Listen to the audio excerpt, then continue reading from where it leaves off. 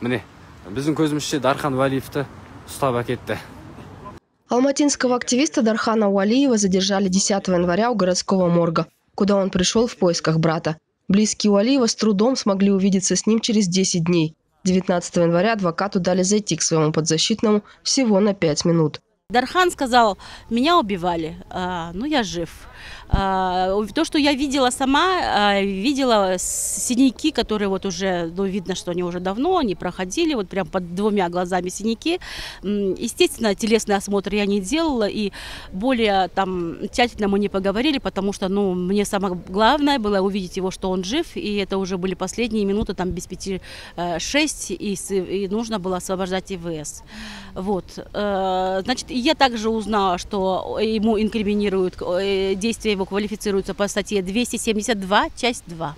Уалиев, которому осенью ограничили свободу по приговору по 405 статье, обвинение в причастности к экстремистской организации он тогда отверг, подозревается сейчас в участии в массовых беспорядках. 45-летний активист не раз выходил на акции протеста с требованием освободить политзаключенных и не препятствовать реализации гражданских прав.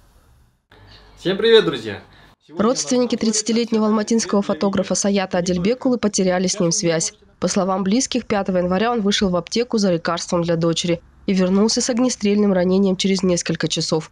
Ему вызвали скорую, медики увезли Саята в больницу. Его прооперировали, удалив почку.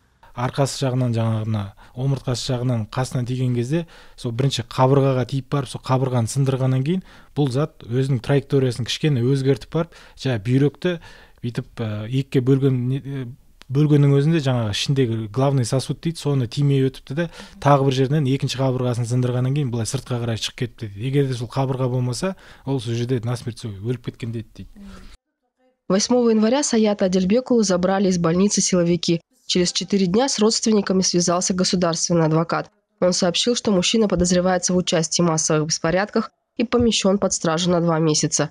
Интернет жоқ кезде ол оны мысалы көшеде не болып жатқанын білмейді. Өзі мысалы міне мына үйде түсірсеңіздер болады өмір бақи сол жаңағы өзінің фотограф фанатына сонымен айланысады өзі. Өзі денсаулығы болса жоқ екі мың сегізде екінші группа үшінші группа инвалидность алған бір көзі жаңағы сексен пайыз көрмейді оның бір көзі ғана көреді. Ешқандай мысалы саяси адам емес сотталмаған привлекаться етпеген шеруге шықпаған и сондай адамды апарып жаңағыдай ауыр статьямен барып жауып тастаған. Енді менің басыма кірмейді ол бірінші мәселе. Екінші мәселе баса көктеп қалай ә, операциядан енді шыққан адамды мысалы соғыс кезінде даже фашисттер де күткен ғой. Адам кішкене емделіп алғаннан кейін кішкене өзіне келгеннен кейін уже жаңағыдай айып тағып оған уже әшкерлеп или тергеуге жүргізетін. А бұлар фашисттен де ар болып кетті ма сонда қалай? Эти кадры облетели социальные сети. Мужчина на фоне разрывающихся светошумовых гранат идет с флагом Казахстана. Предположительно, это активист Берег Абишев. қазіргі состояниесімен осындай естімейді құлағы естімейді зрениесіне көп жерге зақым тиген ғой енді басқа оқ тиген ғой мен оқпай По словам старшего брата Берика Абишева, активист получил ранение вечером 6 января на площади.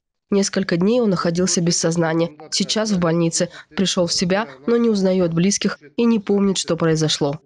кешкісін сағат тоғыз жарым ондарға таман звондаған кезде телефонын бөтен біреу көтерді